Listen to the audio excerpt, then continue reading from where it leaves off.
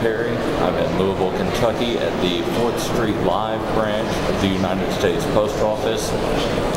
It is just before 1 o'clock and I've just set up shop.